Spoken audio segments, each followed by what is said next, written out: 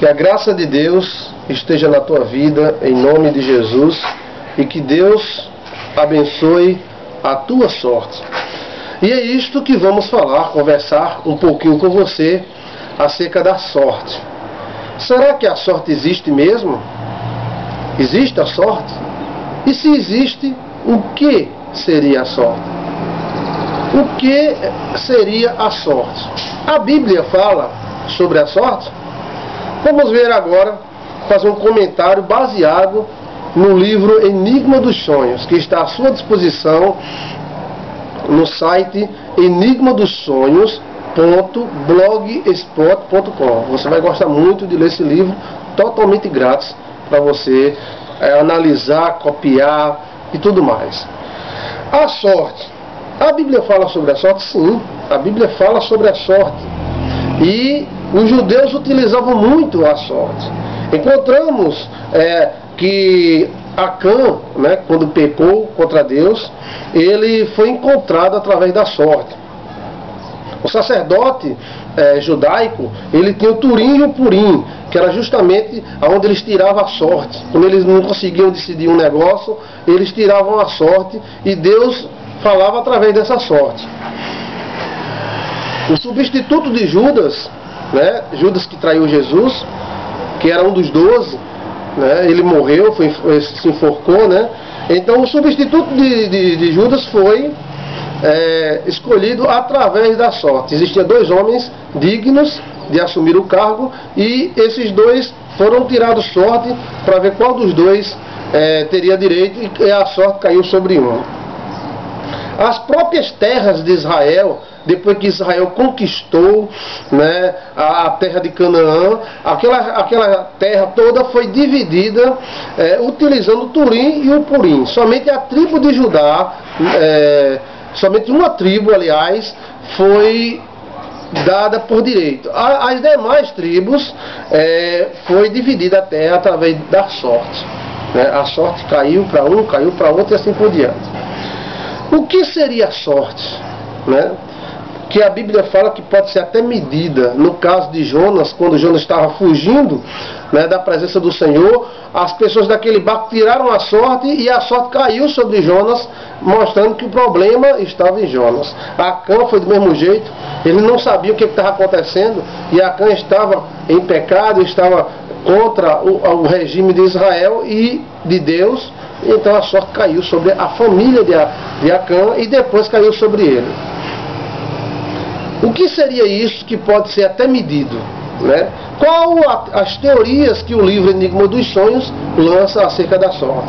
De fato é que existe a sorte. E o que seria a sorte? Né? Sabemos que ela pode ser mudada, abençoada, medida, né? ela pode ser acrescentada e diminuída. É o que nós encontramos na Bíblia Sagrada. A sorte seria a sua bagagem espiritual. Do jeito que herdamos né, eh, os fatores do físico, nós também herdamos os fatores espirituais. E a sorte faz parte disso. A sorte é a bagagem espiritual que você herdou dos seus pais. Agora, esta bagagem, ela pode ser diminuída, né, ela pode ser alterada e ela pode ser retida. Então seria mais ou menos um crédito espiritual, seria uma bagagem espiritual, uma informação espiritual viva que lhe acompanha de noite. Então vamos dizer, um pai teve dez filhos e esse pai tem olho azul. E somente dos dez, dois tiveram a sorte de puxar o olho azul do seu pai. Então não é somente questão física, mas a sorte do pai também é os filhos herdariam. Só que é uma soma entre a sorte do pai e a sorte da mãe, porque tudo nesta vida é uma soma, né? Segundo o livro Enigma dos Sonhos, a sorte seria sua bagagem espiritual e se manifestaria em todo mundo. Todo existem registros da sorte em todo o planeta. Todas as nações da Terra acreditam na sorte né? sumérios, ubaidas, os antiguíssimos chineses, é, os clãs que existiram antes da chamada China né, passar a existir, né, os mongóis, todos os povos índios, né, desenvolvidos, menos desenvolvidos, bárbaros, acreditavam na sorte. E principalmente os chineses, eles sabem e temem uma má sorte, né? Quais seriam as dimensões descritas no livro Enigma dos Sonhos da sorte? A sorte seria herdada, ou seja, seria hereditária. A sorte também seria, poderia ser alterada. As dimensões da sorte também ela pode ser fabricada, ou seja, alguém tem uma sorte e ele pode acrescentar, fabricar essa sorte, aumentar essa sorte através de suas atitudes. Né? As atitudes também afetariam a sorte, as alianças, os casamentos, alianças em qualquer área da vida, essa aliança ela é uma soma é, no inconsciente. E a sorte age no inconsciente. Né? Quando a gente diz, eita rapaz, teve, fulano teve uma sorte muito grande, glória a Deus. A sorte dele é, soube se localizar. Deus não teria dado má sorte a ninguém. A má sorte seria justamente a ausência da manifestação da sorte. Veja só. Segundo o livro Enigma dos Sonhos, Deus não dá má, má, má sorte a ninguém. Fulano teve azar. Eita! Mas porque a sorte daquele fulano, ela não conseguiu se estabelecer. Ou seja, ela não conseguiu é, aplicar a sua lei. Deus não teria dado má sorte a ninguém. Mas a má sorte seria justamente a ausência de sorte. É como o frio, que é a ausência de calor. Né? Não existe o frio, existe a ausência de calor, então o frio automaticamente aparece. A ausência de uma boa sorte, ela provoca má sorte, né? que seria o frio. Deus é, abençoa a sorte. Existem algumas leis que podem impedir as sortes. As maldições seriam doenças da sorte. Ou seja, quando alguém amaldiçoa alguém, alguém é, é, complica a sorte daquela pessoa, prende o destino daquela pessoa e gera infertilidade, porque a sorte é boa. A sorte é boa. Entende bem, entenda bem o que a filosofia do livro Enigma dos Sonhos quer explicar. Não existe má sorte, existe a ausência da sorte, porque todos nós recebemos de Deus uma boa herança. E Deus faz com que a gente receba uma boa herança. Ah, mas fulano era ruim, então, mas a parte boa daquele fulano passa como herança. Agora, o que era má sorte? Repetindo, a má sorte é a ausência da boa sorte. E a sorte existe sim. E justamente a bênção de Deus e as maldições agem na sorte. Ou seja, atraem situações boas e situações ruins. Ou seja, quando a bênção de Deus está na sorte, essa sorte consegue ser aplicada, consegue energizar, consegue trazer Agora, quando há uma maldição, então é, essa sorte ela é cercada, ela é impedida de agir. Não há condição de agir.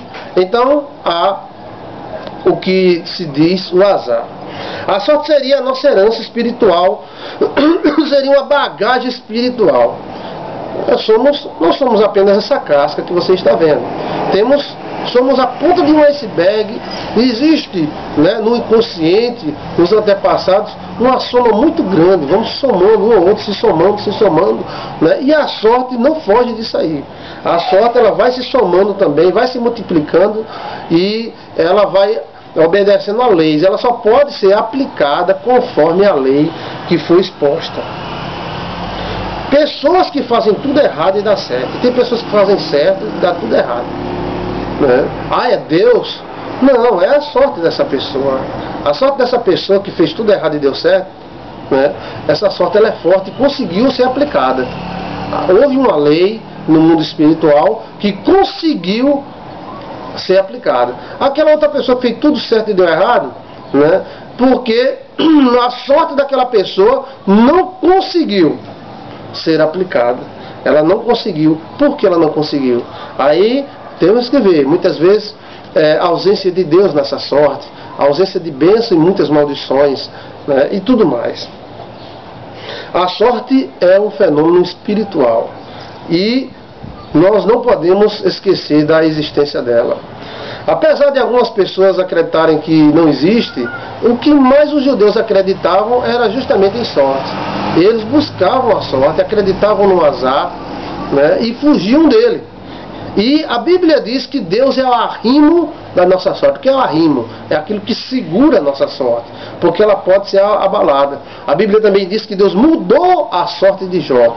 Houve a, Deus tirou o cativeiro, ou seja, existia alguma coisa prendendo a sorte de Jó e Deus tirou, jogou fora aquele cativeiro que prendia a sorte de Jó. Veja que Jó tinha sorte. E tudo que ele fazia prosperava. Mas depois daquela investida de Lúcifer, ele não conseguiu né, estabelecer a sua sorte e houve um cativeiro. Aí Deus virou no cativeiro, segundo o texto, e libertou a sorte de Jó. Ou seja, tirou a lei que impedia de Jó prosperar e liberou essa sorte. A bagagem espiritual é abençoada e pode também ser amaldiçoada, mas toda maldição é quebrada pelo poder do Senhor Jesus. Né? Que Deus abençoe tua sorte. Leia o livro Enigma dos Sonhos para compreender mais a filosofia acerca da sorte. Que Deus te abençoe.